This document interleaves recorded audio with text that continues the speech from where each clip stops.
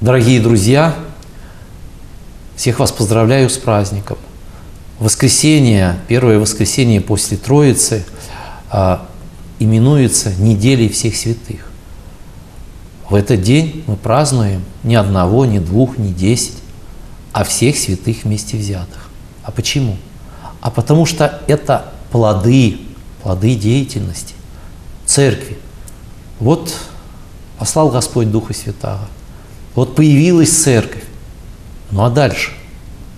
Что это такое церковь? Да, мы с вами говорили один организм.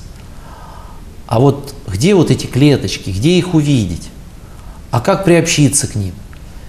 И вот показатель, показатель того, что э, люди спасаются, люди живут, оказывается, можно в этом мире жить правильной жизнью и достигнут высот, достигнуть этих высот, нам являет вот этот день. Вот один человек мне рассказывал, что у него была болезнь очень тяжелая, и он поехал в Германию лечиться. И вот там ему показали а, вот таких же пациентов, а, как они болезни, болели этой же болезнью, и то, что они получили выздоровление. И вот это нужно было, это моральный аспект что не опускай рук, твоя болезнь очень тяжелая, но у тебя есть шанс исцелиться. Вот то же самое происходит и в этот праздник. Нам церковь показывает массу людей, которые уже исцелились от самой страшной болезни. Не рак, не спит, а называется грех человеческий, потому что он поражает вечной смертью.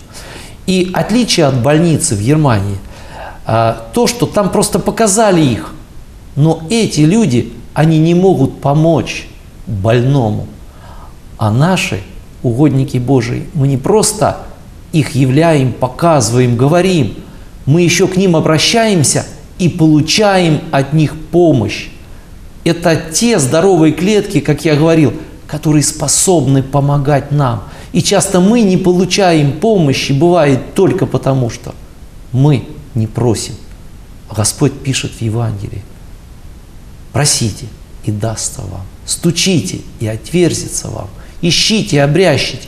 То есть это процесс не разовый, а нужно действительно стучать, искать, прилагать не только ум, но прилагать главным это сердце человеческое, все устремление.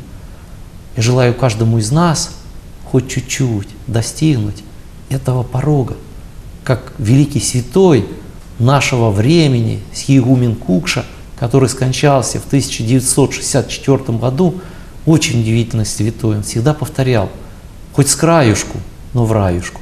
Я желаю каждому из нас в свое время попасть в эти вечные небесные обители. Еще раз с праздником.